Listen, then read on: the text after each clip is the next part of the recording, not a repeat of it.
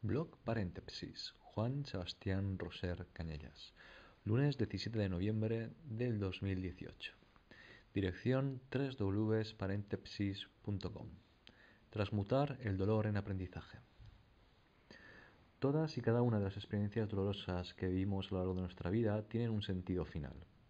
Por ello, resulta indispensable saber gestionar el dolor para poder marcar la diferencia entre las consecuencias que éste nos pueda generar. Estas experiencias están íntimamente ligadas a la oportunidad de aprendizaje.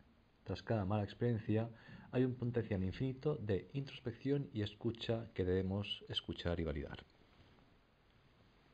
El dolor es lo más parecido a sentirnos desnudos, vulnerables, frágiles.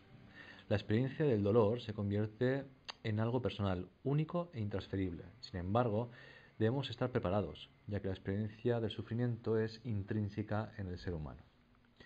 Existe una cualidad ilimitada de situaciones eh, que nos pueden generar dolor sufrimiento.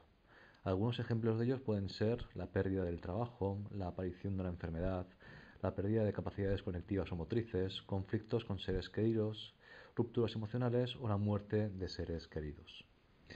Al igual que ocurre con el dolor físico, el dolor emocional es, en cierta medida, funcional y adaptativo, siempre y cuando no nos dejemos arrastrar por él. La adaptabilidad del dolor surge cuando intuitivamente sentimos que algo dentro de nosotros está desajustado. Es importante en este punto tomar conciencia y darnos el espacio personal para sentirlo y aceptarlo. No obstante, saber expresar el dolor emocional no es tan sencillo. Las palabras no bastan, nuestro cuerpo no aguanta, más bien todo queda corto. Por eso, a través de, este texto, se os hace gala de algunas claves que os permitirán manifestar lo que sientes de una manera más eficaz. Lo primero que debemos hacer es, uno, expresar el dolor y dejar de pensarlo. Nuestra mente, al igual que el corazón, tiene una función y esta es generar pensamientos.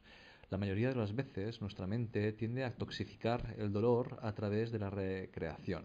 Por ello es saludable recurrir a profesionales o a personas que tengan la capacidad de atendernos y escucharnos. 2. Reconocer la existencia del dolor emocional. En ocasiones tendemos a evitar el dolor.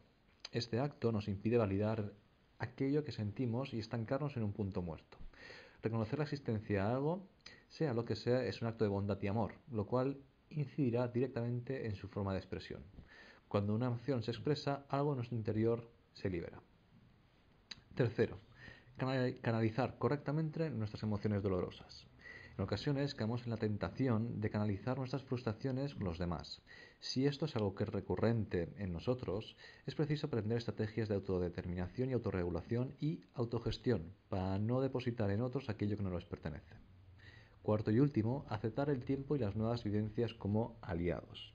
El tiempo nos construye como personas, nos enriquece y nos convierte y convierte nuestras vivencias en caminos más fértiles donde caminar.